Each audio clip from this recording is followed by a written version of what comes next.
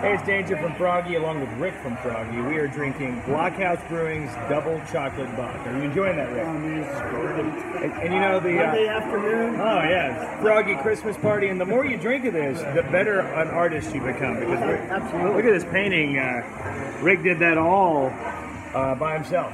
Great job on that, man. Just follow the numbers. Cheers.